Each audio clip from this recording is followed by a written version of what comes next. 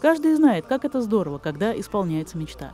Наш коллега, оператор щелковского телевидения Сергей Василевский, много лет мечтал снять фильм о войне. Хоть маленький, но свой.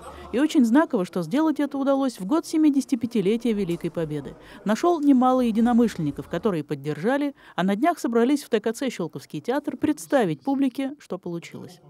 Короткометражка называется «Солдатская каша». Актерская игра в ней перекликается с реальностью. Фильм начинается с работы поискового отряда, ведущего раскопки на местах боев Великой Отечественной и поднимающего останки бойцов. К ребятам подходит бабушка, которая много лет назад на этом месте маленькой девочкой стала свидетельницей боя между отрядом фашистов и красноармейской разведкой.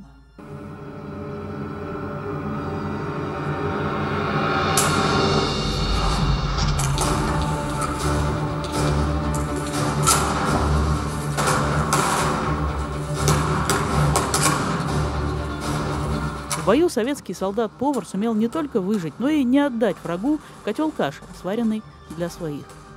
Познакомился я с Арсеном Дали, человек, который готовит изумительно. Мы в разговоре нашли друг друга, говорит, я готов сняться поваром. Почему бы не показать нам военного повара, которые также воевали и также делали такую же функцию, как все солдаты. Он сделал даже больше, он перебил немцев. Конечно, когда ты себя видишь э, со стороны, как ты снимаешься, э, у меня слеза на глазах появилась, потому что ты попадаешь в образ именно этого солдата, именно вот этот момент ты начинаешь чувствовать. Роль бабушки блистательно сыграла Светлана Лепницкая, единственная профессиональная актриса, снявшаяся в фильме, которая очень рада за своих новых коллег. Дай бог не последний.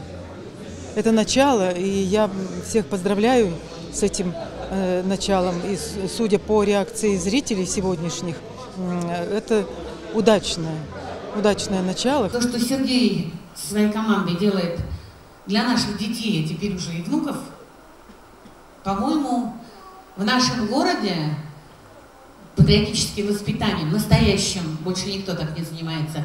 Низкий тебе попал, Сережа? Мимолетный эпизод отражен в фильме, а сколько их было таких на полях сражений. Многие истории передаются в семьях из поколения в поколение. Я дочь участника Великой Отечественной войны. И у нас висел портрет Рокоссовского дома.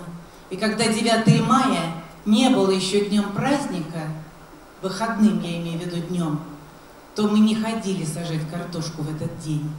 Мы сидели за столом, и отец рассказывал, а мне так случилось, что отец был в штрафной роте. И он видел бой и ходил. Повезло, что два раза смог сходить в атаку и остаться живым. На презентацию пришли участники объединений военно-исторической реконструкции, поисковых отрядов, ребята из движения «Юнармия», страйкбольного клуба 13СБ.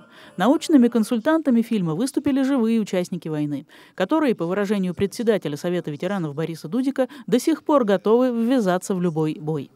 На встрече много говорили о необходимости сохранения исторической памяти, и прежде всего для новых, приходящих в этот мир поколений. Усилиями поисковых отрядов, в которых, кстати, много подростков и молодежи, солдаты, погибшие много лет назад, продолжают возвращаться с войны. Как дядя писательницы Ульяны Лавриени. Мне позвонила моя знакомая, работница музея, и задала мне вопрос. Скажи, пожалуйста, а Яков Ефремов это кто?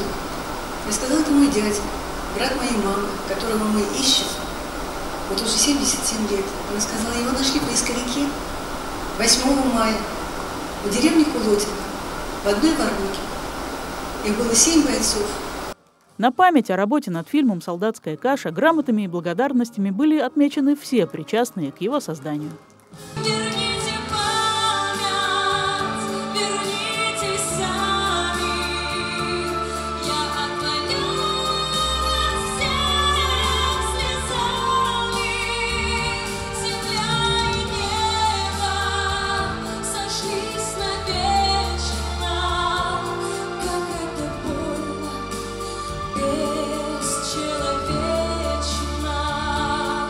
Ирина Микеда, Александр Аржевский, Щелковское телевидение.